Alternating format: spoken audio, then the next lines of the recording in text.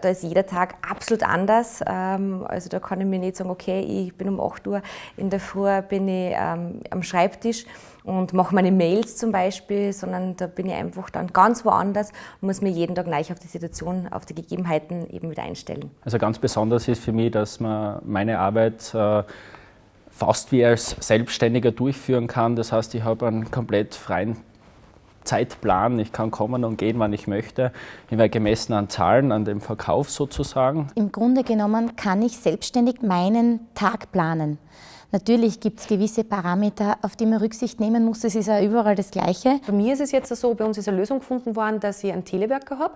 Das heißt, ich fahre an zwei Tagen nach Wien und zwei Tage arbeite ich von daheim aus. Und das ist natürlich eine optimale Lösung. Das beginnt äh, mit der Gleitzeitmöglichkeit, die die Firma zulässt.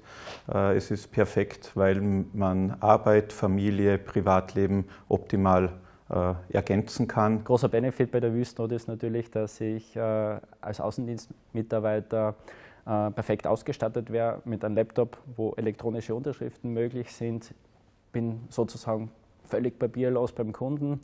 Zusätzlich bekomme ich auch ein Smartphone, um das Private vom Dienstlichen perfekt trennen zu können. Es wird einfach wirklich auf den Mitarbeiter geschaut, indem man einfach die verschiedenen Arbeitsmodelle anbietet und einfach Entfaltungsmöglichkeiten hat. Das finde ich als ähm, ja, Personalentwickler-Sicht natürlich das, das, das, größte Benefit, dass man auch die Möglichkeit bekommt, sich weiter, äh, weiterzuentwickeln.